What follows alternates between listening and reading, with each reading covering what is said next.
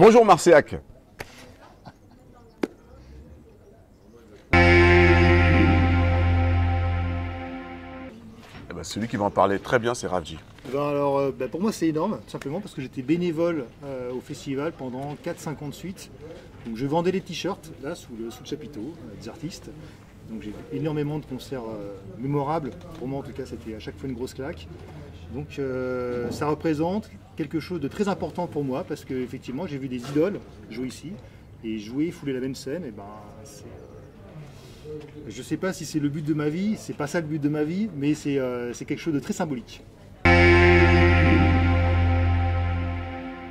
En fait, déjà, le- oui, effectivement, le nom de notre groupe vient de Louis Delgrès, qui était donc un officier de Napoléon, métis, né en Martinique, et qui est mort en Guadeloupe, qui a donné sa vie euh, pour lutter contre le rétablissement de l'esclavage.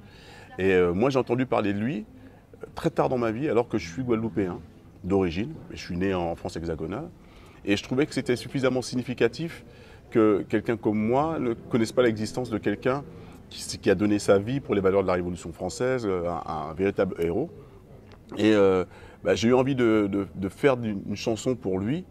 Et euh, c'était une des premières chansons de ce qui allait devenir le groupe Delgrès. Cette chanson s'appelait d'abord Delgrès, puis on l'a appelée Mojodi. Et ensuite, en tout ensemble, on a, décidé d'appeler le groupe Delgrès. Et donc, qu'est-ce qui vient avec ça? Eh bien, il vient une conscience de, l'importance déjà de connaître son parcours, savoir d'où on vient. Et, euh, si ce n'est pas le cas, en tout cas, de faire ce chemin pour euh, retourner, retrouver ses racines et mieux se connaître. Et puis, à travers ça aussi, lié à mon histoire et bah, le, passé de ma famille, eh bien, il y, a, il y a quand même une conscience par rapport euh, à l'importance de la liberté, euh, la résilience aussi. Donc, euh, être capable de trouver sa place finalement dans ce monde-là. Et c'est ces valeurs-là qu'on défend en étant ensemble, un Nantais, un Parisien, conscient de Guadeloupe. Euh, et, puis, et puis moi, voilà, Guadeloupéen, né en France hexagonale, on est là en train de dire, bah, c'est important de savoir qui on est et de savoir surtout se retrouver et ensemble se retrouver autour de, valeurs importantes et, puis de, défendre ça en musique. Le, problème, c'est que c'est quelque chose qui est tellement personnel, c'est une démarche qui, au départ, était tellement nécessaire pour moi et urgente de, de renouer avec mes racines en utilisant le créole, en étant en contact avec ce blues que j'avais, que je portais en moi, justement cette quête d'identité, que je me suis vraiment pas posé la question en fait de la manière dont ce serait reçu. J'étais un peu voilà comme on dit un peintre dans son dans son atelier là en train de faire les trucs. Et puis quand on s'est retrouvés tous ensemble, qu'on a commencé à faire la musique, on était tellement bien ensemble qu'on a d'abord euh, voulu vivre ce moment pleinement et on s'est pas posé la question de la façon dont on serait reçu. Aujourd'hui, c'est juste le, bonheur de, voir que malgré le fait justement qu'on chante dans une langue qui n'est pas parlée par beaucoup de monde, eh ben, les gens arrivent à, entrer en communion avec nous et, à entrer dans l'émotion en fait qui passe. Bah alors nous déjà on avait enregistré notre album euh, en janvier 2020, juste avant que le Covid arrive, donc ce qui fait qu'on avait pas mal de pain sur la planche. Et, euh, on a pu quand même travailler tout au long de cette grande période d'inactivité pour beaucoup de gens sur, sur notre nouvel album, avec euh, voilà, euh, travailler les mix, euh, là avec la maison de disques, notre, tourneur vraiment travailler euh, tous ensemble là-dessus. Donc c'est vrai qu'on s'est pas trop embêté et on se parle, on se parle très souvent, donc on a gardé le contact euh, assez facilement. Et euh, ça s'est très bien passé. Mais évidemment, on est hyper heureux de reprendre, comme tout le monde, la route et les concerts. Et il nous tardait de venir rencontrer euh, notre public. Donc là maintenant c'est moins de Skype et plus de, de live. C'est mieux. Mais co- comme, disait Baptiste, on était en, processus euh, notamment de mix, euh, de, mastering, donc on a eu beaucoup de travail à faire. Donc euh, pas forcément du jouage, parce que le jouage avait été fait, mais tout ce qui est derrière, on l'a fait durant ce temps-là. On a la chance aussi d'avoir de, la promo qui a recommencé relativement tôt. Donc on a pu jouer, on a pu faire des lives radio.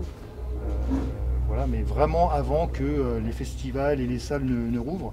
Donc quelque part, on ne s'est pas senti au chômage durant cette période. On a vraiment été actifs. Mm. Euh, voilà, c'est le hasard du calendrier qui a fait que ben, nous, on a pu s'occuper.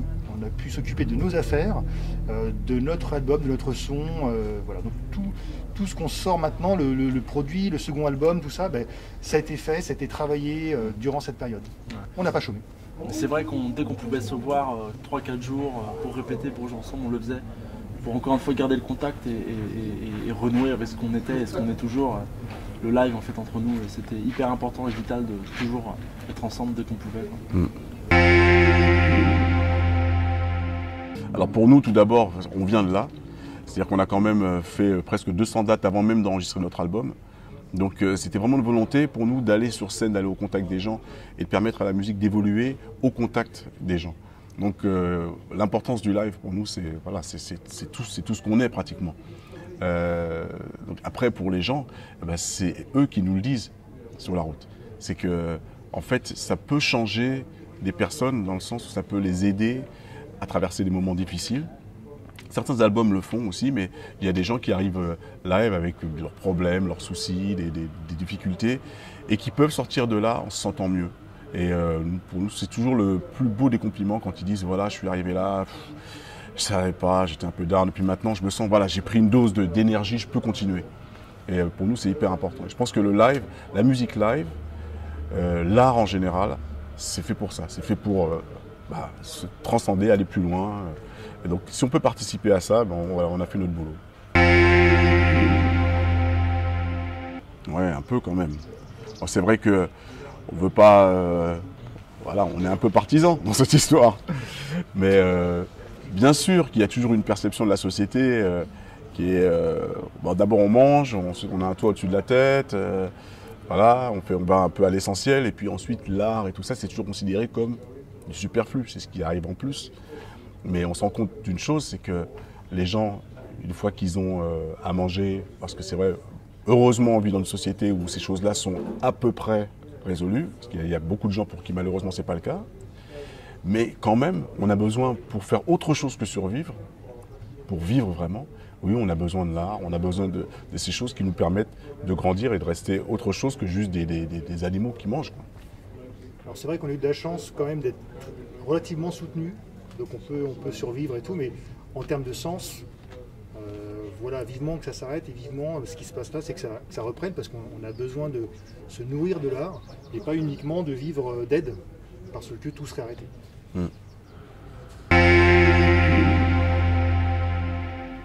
4 h du matin, déjà, le, titre, c'est le titre d'une des chansons de l'album qui, euh, qui parle de l'arrivée de, mon père en métropole en 1958. Euh, donc il quittait sa Guadeloupe natale pour venir euh, trouver mieux pour sa famille. Et il se levait effectivement à 4 h du matin pour aller décharger des caisses pour la SNCF. Et à travers sa vie à lui, ce qu'il a fait simplement pour, pour sa famille, pour, pour subvenir aux besoins de sa famille, eh bien on s'adresse à tous ces héros du quotidien, des gens qui sont invisibles, euh, parce qu'on les prend pour acquis, ils sont là, ils font simplement ce qu'ils ont à faire. Et en fait, nous, ce qu'on dit, c'est que ces personnes-là sont des héros et qu'il faut aussi mettre un coup de projet au-dessus. Donc, euh, à travers l'histoire de mon père, eh ben, on parle de tous ces héros anonymes. Hein, euh, ceux qui se lèvent à 4 h du matin ou qui, se, couchent à 4 h du matin, parce que ce n'est pas une question d'heure, bien sûr, c'est lié au fait que c'est des gens qui s'oublient parfois pour simplement être là pour les, pour les leurs. voilà, donc on avait envie de donner un coup de projet dans cet album. Donc on aborde plusieurs aspects. On aborde effectivement euh, ben, le monde ouvrier, les gens qui, triment, euh, les migrants, euh, mais aussi ben, les difficultés parfois d'être différent dans une société qui, avec, avec, certaines normes. Une chanson comme mots-là, par exemple, elle parle de ça. voilà, l'esclavage moderne aussi, c'est toujours une réalité. Donc on aborde comme ça tout un tas de thèmes qui sont des thèmes très humains et assez graves. Bon, peut-être de là vient le blues, mais toujours avec cette façon qu'on a, nous, de, jouer la musique d'une manière, euh, comment dire, comme une main tendue, euh, avec une, certaine urgence. Et il y a un côté un peu, un peu furieux là-dedans, euh, un peu effervescent, parce qu'on pense que c'est important, de, même si on parle de sujets graves, de pouvoir toujours amener les gens à dépasser ça. Et c'est pour ça qu'on a un son qui est plutôt énergique.